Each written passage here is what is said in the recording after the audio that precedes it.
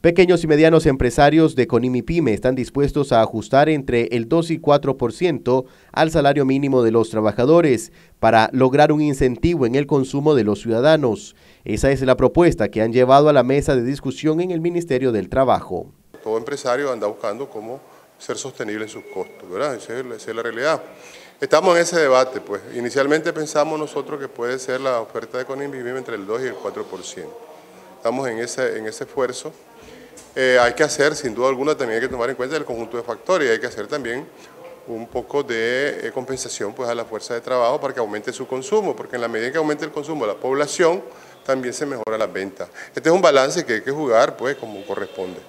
Ya estamos claros que la inflación fue de 6,13, es la, la cifra oficial, pero no tenemos cifra oficial de cuánto cayó el Producto Interno Bruto.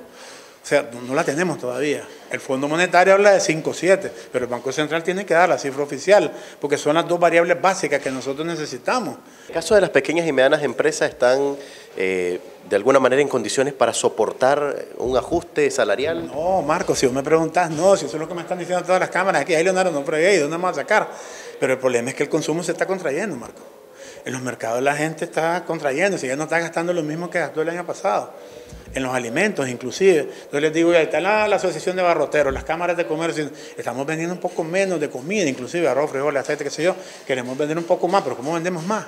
Pese a las quejas de los agremiados a Conimipime, hay otros empresarios que viven una realidad paralela.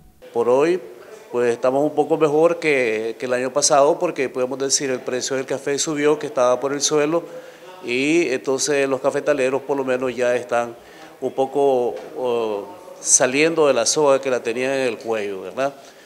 Pero sí, en general, pues creemos, ¿verdad?, que ha habido un poquito de inflación en, los primeros días de enero y entonces se el consumo pues se ha contraído un poco, ¿verdad? Pero por eso eh, se propone un, un, aumento en el salario mínimo, probablemente un 4%. ¿Esto en qué les ayudaría a ustedes como sector comercio?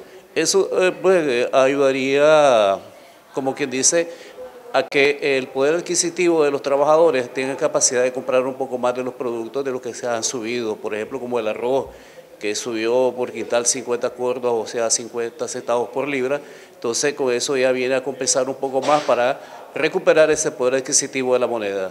Marcos Medina, Noticias 12.